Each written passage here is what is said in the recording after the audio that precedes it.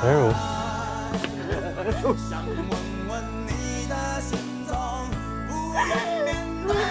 只 希望他能够在那个没有我的世界。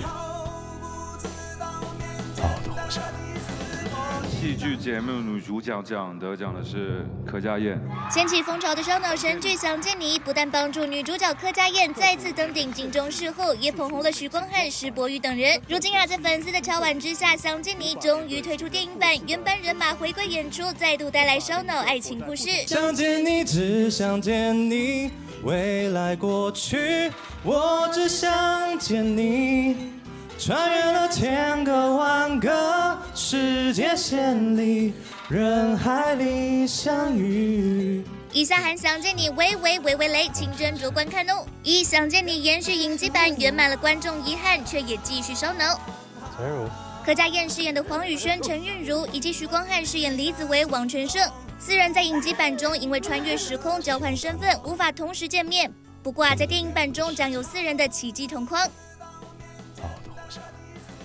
另外呢，延续影集版风格，电影版继续烧脑。从预告中可看到李子维、王全胜看着画满时间轴的黑板，观众也准备跟着烧脑，一时闪神可能就看不懂了。二感情成迷，风男小队情归何处？是那个约定。在影集版的最后，李子维见到小时候的黄宇轩，当时也被外界解读是为续集留下了伏笔。在电影版中，究竟李子维是否会等到黄宇轩呢？两人的感情是否有进一步的发展？至于施柏宇饰演的莫俊杰，自学生时期就暗恋同学陈韵如，这段暗恋能否开花结果也是个看点。穿着婚纱的柯佳燕到底是嫁给谁嘞？到底是黄宇轩还是陈韵如？除此之外，电影版中还增加大陆男演员金世佳，他的身份究竟为何？是否会成为这段多角恋中的关键人物呢？三五百 Last Dance 穿越神奇再起。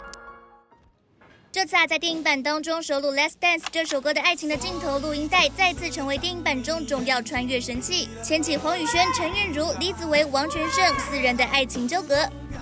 电影版《想见你》十二月三十号全台上映。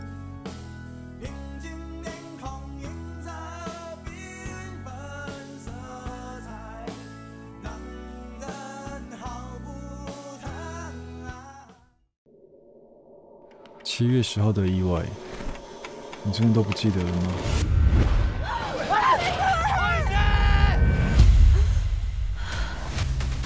你脸上旁边这边有一颗痣，他没有。我是陈韵如。我是王全胜。真的回到二零一四年。不管怎么样，我们都不可以让李子维出事。想要改变过去的，不只有你。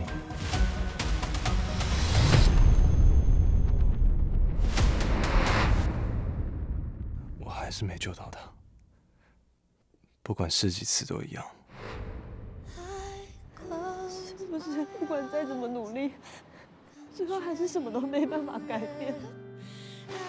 为什么你说的那个未来，跟我遇到的不一样？